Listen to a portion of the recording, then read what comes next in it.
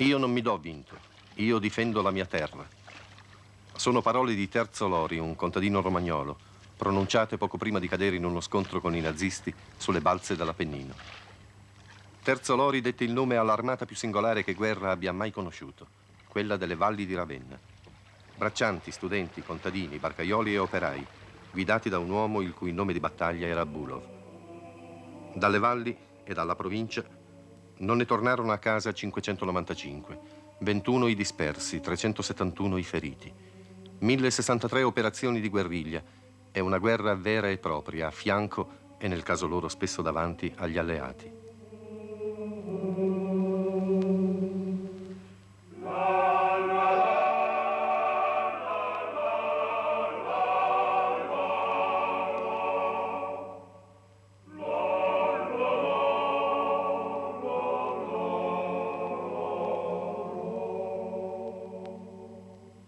Ecco alcuni protagonisti di quei giorni. Raccontano le loro vicende, ma è come se ascoltassimo la storia di tutta la resistenza italiana. Qui si combatté nell'acqua, fra le canne, tra gli argini. Altrove, nelle città, nelle campagne, sui monti. Ma dopo tutto è la stessa guerra. Terzo Lori aveva parlato per tutti. Io non mi do vinto, io difendo la mia terra.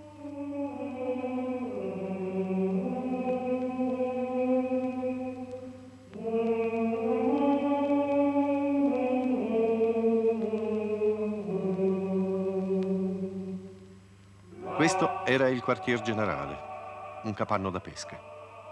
Se non ci fosse la lapide, nessuno penserebbe che un giorno fu tanto di più. Lo si scopre all'improvviso, dietro un boschetto di spini, dai quali l'isolotto prende il nome di Spinarone. Lei era il comandante? Sì, il mio nome di battaglia era Bruno, il mio nome vero è Pietro Gaudenzi. E qui dove vi trovate hanno vissuto 800 uomini durante il periodo clandestino. Ma com'era possibile tenere qui 800 uomini senza che i tedeschi sì, se ne accorgessero? Sì, effettivamente la cosa sembrava impossibile, anche noi avevamo le nostre perplessità. Comunque, vede, noi qui eravamo organizzati come un vero reparto militare, avevamo eh, la dispensa, avevamo un'infermeria, avevamo un comando, comando dove, dove eh, chi l'ha visitato, soprattutto un ufficiale inglese che ci fu mandato, noi pensammo subito per renderci conto della nostra efficienza, eh, rimase anche lui sbalordito, dice magnifico, in, in, un italiano abbastanza buono. Voi li vedevate i tedeschi? Noi li vedevamo, li vedevamo non sempre, sapevamo comunque dove erano, la stessa popolazione a mezzo di biancherie che mettevano appositamente sopra dei fili, noi ci rendevamo conto dell'entità pressappoco numerica dei tedeschi. Le avevamo un po' tutto intorno, eh, soprattutto nella parte eh, est, nord-est di, di, questa base. E come comunicavate con gli alleati? Noi con gli alleati comunicavamo attraverso una stazione radio, che anche quella era di base qui, e due volte al giorno, precisamente due ore prestabilite, erano le 10 del mattino e le eh, 16 del pomeriggio. Avete avuto rifornimenti dagli alleati? Abbiamo avuto rifornimento, precisamente abbiamo avuto tre sbarchi e due lanci aerei. Per eh, gli approvvigionamenti come facevate? Per gli approvvigionamenti noi sappiamo solo come arrivavano qui, cioè qui arrivavano attraverso a barche, eh, anche quelli eh, normalmente si facevano di notte e ci mandavano tutto, naturalmente noi avevamo la cucina come un vero e proprio reparto regolare. E qui eh, credo sia necessario, proprio utile, sottolineare con forza eh, questa partecipazione, larga partecipazione delle donne romagnole, le quali hanno dato un contributo che è inestimabile in questo campo perché controllavano giorno per giorno, minuto per minuto, ora per ora, proprio i, i movimenti, i, i, i, cosi, i nazisti, eccetera. No? Per cui avevamo tutto un quadro dell'informazione generale dal quale noi potevamo non soltanto esistere, ma comunque anche muoverci e, lottare. Insomma. Che cosa la ripaga di più di tutti i sacrifici che ha affrontato? Beh, io non saprei. Eh, trovare un, eh, un elemento proprio... Penso che quel periodo è stato un periodo di vita intensa, di vita eh, dinamiche, di vite di conoscenze, di vite direi, eh, ho imparato tante cose. Io ero un semplice bracciante, un lavoratore della campagna, eh, quasi direi analfabeto eh, molte volte. E, fatto, e queste gr grandi esperienze che ho potuto fare in quel periodo, nonostante i pericoli, nonostante tutto, nonostante che ognuno di noi eh, eh, guardasse sempre eh, la prospettiva della propria casa, della propria famiglia, eccetera. Però dico, queste grosse esperienze che ho fatto in quel momento, in quel periodo, non dico vorrei ripeterla, ma comunque, ma comunque dico, non è facile trovare nella vita, nell'esperienza di un uomo un periodo così intenso di vita eh, culturale, di vita collettiva, sociale, umana con tutti gli altri uomini. E per i feriti? Per i feriti li curavamo qui, eh, nella nostra infermeria, quelli eh, che abbiamo potuto. Poi, eh, vede, in quella casa là sono state fatte anche delle operazioni a feriti gravi, uno di scheggia di mortaio che era praticamente visto da un profano, sembrava uno che dovesse andare all'altro mondo da un momento all'altro. Allora un medico, un professore, il professor Badiali, mh, mm, pensammo di andarlo a visitare e invitarlo a venire qui alla base per parlargli, eh, era una preoccupazione enorme. E naturalmente l'ordine fu dato in questo modo, andarlo a prendere e portarlo qui. Quindi lei capisce cosa vuol dire andarlo a prendere e portarlo qui, cioè con le buone o anche senza le buone. Lui non solo venne con le buone, venne col figlio che faceva già il terzo anno di medicina e questo che è il professor Badiari oggi è direttore del nostro ospedale civile. Eh, naturalmente quando ebbe visitato gli ammalati e noi gli facemmo presente che avevamo bisogno della sua opera per la battaglia, soprattutto per la battaglia finale, eh, lui disse me ne torno a casa, prendo i ferri del mestiere, prendo i medicinali che ho e torno qua. E tornò col figliolo ed è sempre rimasto con noi. Ci furono parecchi feriti, eh, partigiani, eh, nazisti, eh, anche componenti delle Brigate Nere e furono assistiti tutti da noi. Il babbo ebbe occasione di fare anche eh, di notte, al lume di candele, degli interventi chirurgici di una certa entità. E le armi come ve le procuravate? Le armi, eh, molte ci venivano fornite dai comitati di liberazione e molte ci siamo procurati con colpi di mano, disarmando caserme della milizia, eccetera. E una parte, per la verità, ci sono state fornite dagli alleati negli sbarchi e nei lanci di cui vi ho parlato prima. Avete avuto persino un cannone qui? Sì, qui abbiamo avuto un cannone, anche quello recuperato in un'azione, un'azione eh, che avevamo qui, eh, proprio qui sul posto, a Porto Corsini, dove c'erano dei bunker eh, nella spiaggia, lì eh, recuperammo due mitraglie, 10.000 colpi da mitragliatrice un canone con 72 colpi, era un 37-42, un anticarro antiaereo. Quando arrivavamo all'accampamento con questo canone, eh, si è un po' sorpreso tutti quanti, perché cosa ne facciamo adesso, chi l'adopera? Cioè, eravamo tutti ex militari più o meno, operai, però di canoni poi nella guerra partigiana che non c'era niente. Comunque arrivato un momento, poi dopo ci ha servito nella continuazione del fronte in cui praticamente dopo le brigate stanno inserite sul, con le forze alleate e indubbiamente ce ne siamo serviti un po', sai, in principio avevamo dovuto fare un po', perché sai, il nostro canoniere che era un sergente, diceva lui, quando Bulov gli disse a lungo il tiro 100 metri, lui prendeva questo canone e spostava direttamente il cannone, non pensava che c'erano traiettorie, comunque sa, la guerra era fatta così, appunto, in un determinato momento, e, così, questo, questa è la storia del cannone più o meno, insomma, diciamo così. E dove è finito questo cannone? Il cannone l'abbiamo perso, io penso, so, vicino a Mandriole, lì vicino alla casa di Anita Garibaldi, insomma, in quelle postazioni lì. So, adesso poi il cannone dopo, sa, siamo continuati ad andare su col fronte. E, e, comunque il cannone qui in giro, me lo ricordo perché era tutto bianco, era verniciato, che abbiamo fatto una fatica da cane per portarlo questo con noi, però eh, se devo dire adesso praticamente il cannone là non lo so. Poi un bel giorno siete diventati un esercito, con regolare divise. Sì, un bel giorno, questo è venuto dopo la liberazione, cioè dopo la battaglia delle valli, così chiamata, oramai passata agli archivi con, delle, con il nome di battaglia delle valli. Eh, dopo, naturalmente, il problema divenne un altro divenne quello di arruolare gli uomini, quello di passare dalla guerra clandestina, cioè dalla guerra d'assalto alla guerra di posizione, alla guerra fatta in un'altra maniera. Con una certa chiacchierata ai nostri partigiani li convincemmo che bisognava mettere le stellette, bisognava mettere la divisa e tutti ne furono convinti. E i vostri rapporti con gli alleati? I nostri rapporti con gli alleati erano rapporti che risalivano molto prima ancora dalla liberazione di Ravenna, per cui fu facile, ma d'altra parte con molti ufficiali esistevano già dei rapporti di amicizia, di rapporti che, di mesi che avevamo vissuto assieme, quindi non abbiamo avuto delle difficoltà. E vi fu assegnata quella porzione di fronte che voi rivendicavate? Sì, inizialmente da Sant'Alberto fino al mare, che poi ad un certo, era di 8 km, che poi ad un certo momento è diventata addirittura di eh, 50 km. E siete arrivati fino a? Siamo arrivati fino a verso Padova. Si sente vecchio, Zaletta, qualche rimpianto delle valli? No, no, no, non mi sento vecchio affatto, però ritengo che i giovani abbiano molte più cose mm, da, da dare alla vita, alla nostra società.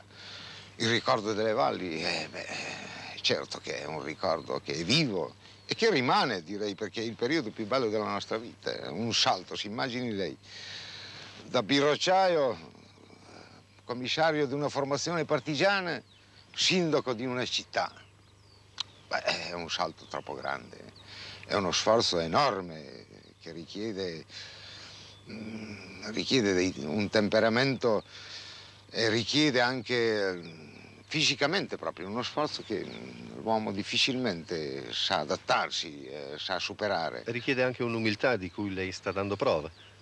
Beh, certo che l'umiltà è data anche dalla natura stessa dell'uomo che viene, che non ha mai frequentato la scuola che a un certo momento si trova a dover dirigere degli altri uomini, che addirittura si trova a dover dirigere la vita di un'intera città completamente distrutta. Beh.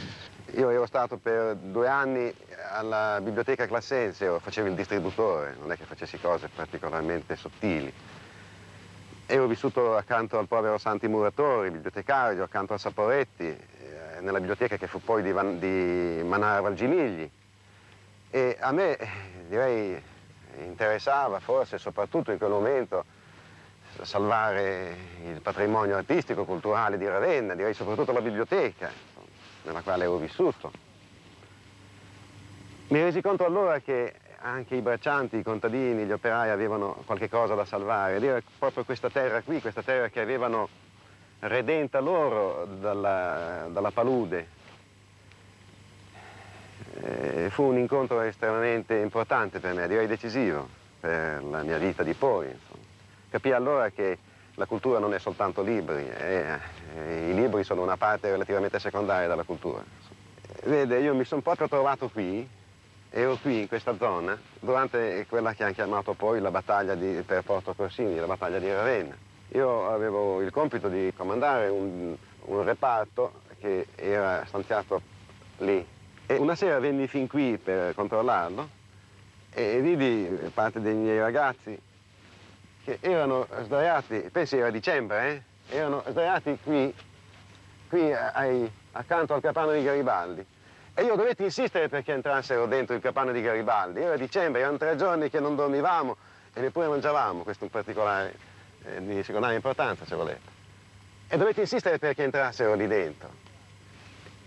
E quando chiesi perché non erano entrati, io ebbi l'impressione, non ricordo le parole precise, che loro eh, credessero che entrando lì commettessero quasi, quasi una profanazione. Insomma, questo era il capanno di Garibaldi, c'era stato Garibaldi lì.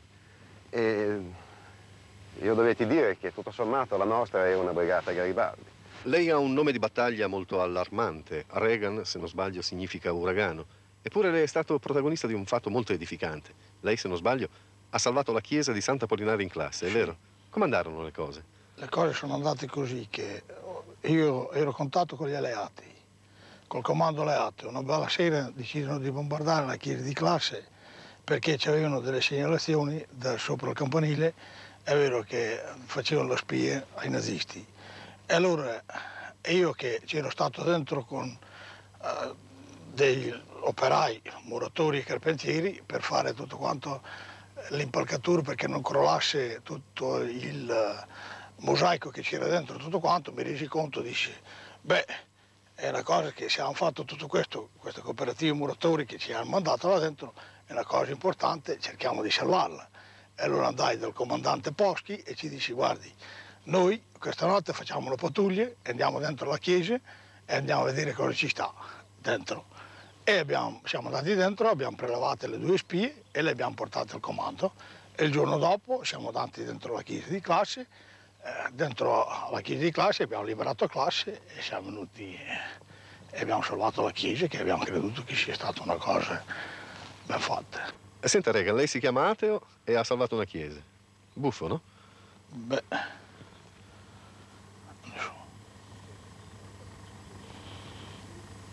Senta Gira, se mi consente, lei non doveva essere un uomo molto imponente, diciamo così, neppure al tempo della battaglia nelle valli, eppure le hanno dato una medaglia d'argento. Con quale motivazione? Ero andato alle dipendenze del eh, comando militare inglese come staffetto, insomma, come eh, capo servizio di collegamento. Eh, rimasi ferito durante un'azione di guerra, rimasi ferito e per questo mi diedero la medaglia d'argento. Una medaglia Però- che lei voleva rifiutare, se non sbaglio. Sì, la volevo rifiutare perché mi era, innanzitutto mi era stata data da- da- da- dal luogotenente che io non la volevo accettare. E poi perché anche la medaglia d'argento era una cosa che allora fra partigiani non era, non era troppo sentita, perché eravamo tutti, tutti uguali. E a darla a me e non agli altri c'era qualche cosa che poteva anche disturbare. Non giù né medaglia d'argento né medaglia de- di ferro, giova la coscienza. Un giorno la presero e la fucilarono. Che cosa ricorda? Beh, eh, ricordo, direi ricordo tutto, ricordo che sono venuti a, a prendermi a casa l'una di notte, eh, fui caricato in una macchina e mi dissero che mi avrebbero portato in questura. Eh, naturalmente io vidi che presero un'altra strada, pensai alle carceri giudiziarie, poi tirando avanti capii che mi portavano eh, per ammazzarmi. Avevo quasi 30 anni, eppure mi sembrava di essere ratto il giorno prima. E così mi passò in un baleno tutto il film, così, della mia esistenza. Vede? E dissi, beh, è qui che si conclude, ma io avevo pensato tante cose da fare, a mio figlio da farlo studiare, così. Capito? Quello che è certo non pensavo di salvarmi, sapevo in che mani mi trovavo e che avevo una probabilità su mille. La probabilità per fortuna c'è stata. Eh, quando fui eh, sul luogo dove loro avevano prestabilito di fucilarmi, cercai di avvicinarmi a uno per disarmare e quando eh, andai per avventarmi, dall'altra parte sbucò uno delle brigate nere che io non avevo visto, dato il buio di quella notte, e mi sparò. Eh, I primi due colpi me li sparò lui senz'altro, anzi vidi addirittura la fiamma, eh, della- era una pistola con canciolo. E poi eh, eh, rimasi lì, sentii che parlavano, che dicevano eh, che volevano stare lì sino al mattino. Poi eh, quando sentii che se ne erano andati, guardai e la prima cosa che vidi il cielo. Sia l'esperienza della fucilazione, chiamiamolo così, sia l'esperienza eh, del reparto, mi ha dato la possibilità di eh, considerare bene quello che vale una vita umana. E allora sono arrivato sempre a delle conclusioni che- delle quali io sono estremamente contento, cioè così di giudicare in maniera eh, molto fraterna, molto ampia, molto direi proprio questa solidarietà che si è creata eh, fra gli uomini, di aver fiducia negli altri, di aver fiducia nei rapporti umani, fino al punto naturalmente di credere che la pace è il bene migliore E il giorno del rompete le righe, se lo ricorda? il giorno del rompete le righe me, me lo, me lo ricordo e no- le dico subito che non saprei definirlo molto, con molta chiarezza. Tro- avemmo, mi pare, generalmente, fu uno smarrimento generale, perché questa vita intensa, questa vita così fraterna, così piena di rischi, eh, così piena di scambi, di eh, l'un verso l'altro, di solidarietà, eccetera, una vita che noi non conoscevamo, né noi eh, giovani né quelli meno giovani di noi e di quelli più giovani di noi. Cioè avevamo vissuto un periodo eh, di vita comune nella maniera più franca, più schietta. E qui ecco perché trovammo un po' questo smarrimento nell'abbandonare questa vita effettivamente. Ci stringevamo la mano, ci abbracciavamo, eh, qualcuno aveva anche le lacrime agli occhi. E poi tutti a casa, E poi tutti a casa. a ricominciare a vivere ricominciare a lavorare, ricominciare a vivere, ricominciare a rieducare i figli, ricominciare a ricostruire molte delle nostre case che erano state distrutte, ricominciare insomma la vita normale, per dimenticare non quello che era stata questa pagina eh, di storia nostra, questo apporto che avevamo dato per la liberazione del nostro paese, ma per dimenticare soprattutto gli orrori della guerra, della guerra che non si dovrebbe mai fare. L'epopea della ventottesima brigata e di tutta l'armata delle valli era finita. Da un libro di Guido Nozzoli, che è stato il più fedele cronista di quelle vicende, prendiamo queste parole. Adesso i ragazzi si allontanano a gruppi con il berretto in tasca e il giubbetto su una spalla, come braccianti che tornano dalla mietitura o studenti appena usciti da scuola, verso la statale 16, la strada della guerra ridiventata la strada di casa. Si avviano verso il nuovo fronte assegnato alla brigata quello della pace, che si snoda di casa in casa.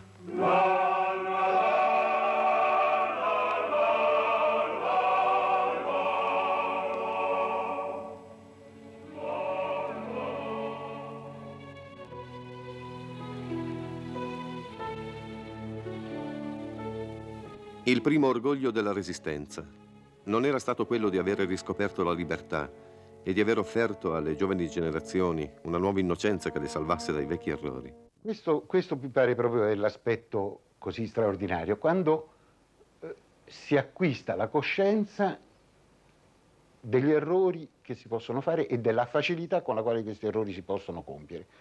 Allora c'è bisogno proprio di ritornare all'innocenza, cioè di ritornare eh, sì, proprio all'innocenza, non c'è niente da fare, proprio questo. E questo permette di rivedere tutto con degli occhi completamente nuovi. Quando si è fatto l'errore di essere coinvolti in certe dialettiche, uno si smarrisce e diventa proprio il gusto dell'affermazione delle cose che si sono affermate, no? E piano piano, piano piano, piano piano ci si allontana dalla verità e dalla realtà. Quindi bisogna avere questo grande coraggio di fermarsi proprio su quattro zampe come fanno i cavalli davanti a un foglio di carta bianca sdrucciolare, rischiare pure di cascare per terra e di rompersi un poco le ginocchia, però fermarsi e riconsiderare tutto.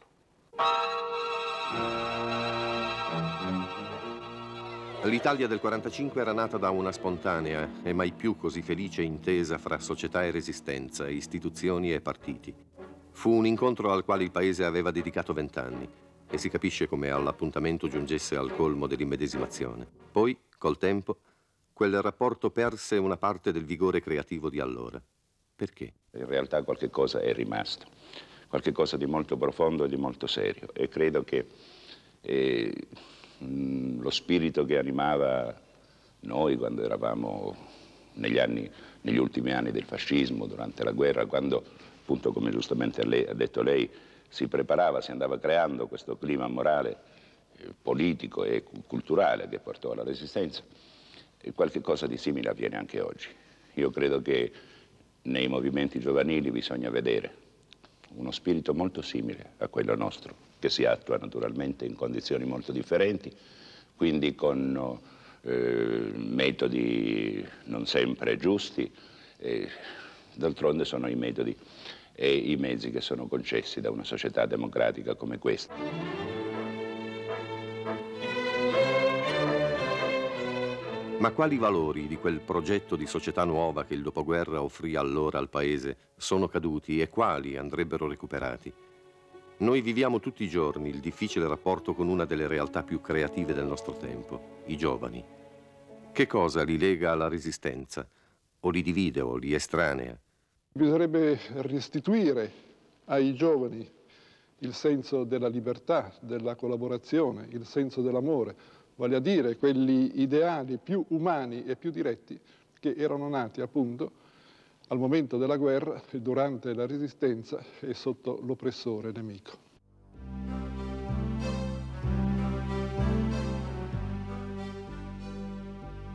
La resistenza certamente è una pagina fondamentale nella storia del nostro Paese e in particolare nella storia della Repubblica, è al fondamento, è la premessa della Costituzione repubblicana. Tuttavia io penso che oggi noi dobbiamo distaccarci e liberarci da questa sorta di identificazione che per molto tempo è rimasta, si è fatta fra resistenza e lotta armata. La lotta armata è un momento importantissimo della resistenza come fenomeno complessivo, ma la resistenza non si esaurisce nella lotta armata, perché c'è una resistenza diffusa nel paese, alla quale tutto il paese, o grandissima parte del paese ha partecipato. La resistenza delle donne che hanno dovuto affrontare eh, con gli uomini assenti, con i mariti in guerra, i problemi della vita quotidiana, la resistenza delle popolazioni sotto i bombardamenti, le mille manifestazioni di solidarietà eh, delle famiglie italiane l'una verso l'altra negli anni appunto dei bombardamenti, della miseria, della fame, la, la, la solidarietà verso i rifugiati, gli ebrei, e verso i, i prigionieri inglesi in fuga dai campi di concentramento, insomma tutta una serie di fenomeni che toccano il vissuto popolare, che fanno parte della resistenza. La ricerca storica ha messo in evidenza un coinvolgimento della Chiesa nella sofferenza delle popolazioni, una partecipazione attiva, una riflessione religiosa che matura sul significato della guerra, sul significato di queste grandi prove che il Paese deve affrontare, che sono elemento, fattore decisivo, non unico, ma importante di questa concezione della resistenza come vissuto popolare, come fatto corale e non come fatto limitato all'esperienza dei combattenti, di coloro che hanno sparato. Sia chiaro, io con questo non voglio affatto diminuire l'importanza e il rilievo della lotta armata, come della resistenza degli ufficiali e dei soldati italiani che nei campi di concentramento tedeschi sono 600.000, è un fenomeno imponente, spesso lasciato in ombra. La resistenza dei militari, un altro fenomeno che è rimasto in ombra nella storiografia di sinistra. Ecco, tutte queste cose vanno recuperate per avere questa visione globale della resistenza come fondamento della Costituzione repubblicana.